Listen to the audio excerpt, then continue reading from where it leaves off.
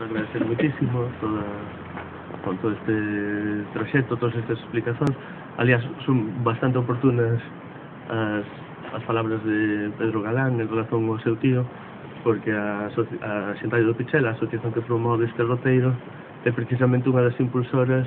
dun novo proxecto educativo que non sei se coñecíades, depois de todo o que nos ensinastes tamén vos queremos ensinar algo nós, que é a semente que naceu en Compostela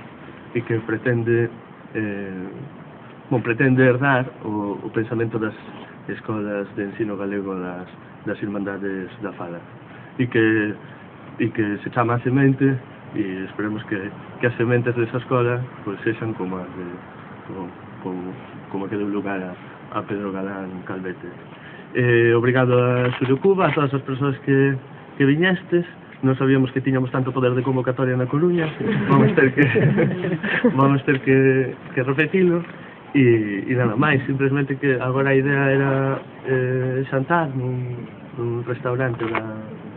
da Praza de María Tita. Xa chegamos un pouco tarde de calquer modo había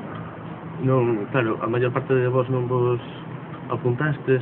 entón a maior parte de vos imos ter que dispersarvos porque non, non, non, non, non, non, non, non, non, non, non,